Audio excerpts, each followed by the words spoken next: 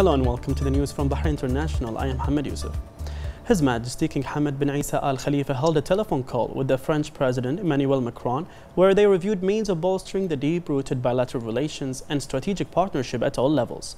His Majesty underscored the distinguished relations between the two countries, as well as the keenness on further developing them for the benefit of both countries and their people. The two sides reiterated the desire to further enhance cooperation, coordination, and joint action, as well as activating agreements and joint committees. They also hailed the joint cooperation, particularly in the fields of youth and athletic training. His Majesty exchanged with the French President views on the current regional and international affairs, as well as topics on mutual interest, at the forefront of which the Palestinian cause.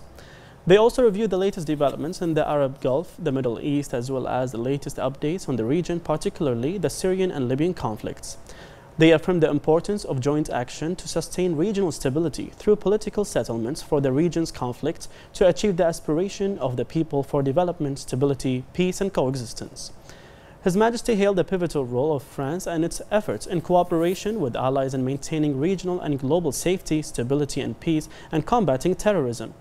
The two sides also discussed the latest developments related to the coronavirus, where His Majesty congratulated the French president for containing the pandemic, wishing him and the people of France as well as the people of the world abundant health and prosperity.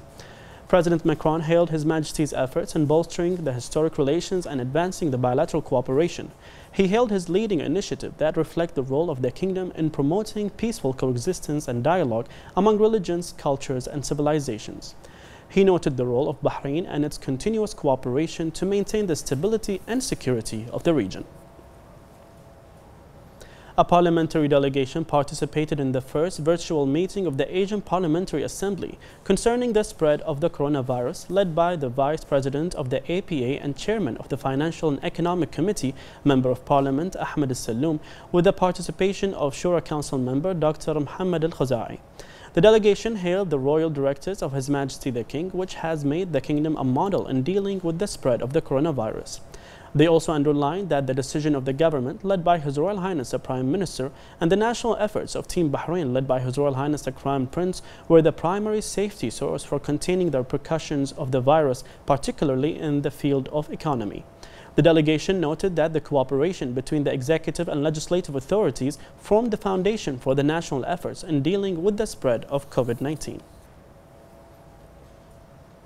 The Ministry of Health said today that the number of coronavirus cases reached 4,760 with 503 recoveries and 610 registered new cases. The Ministry of Health urges everyone to adhere to the rules and follow instructions and avoiding public places when possible.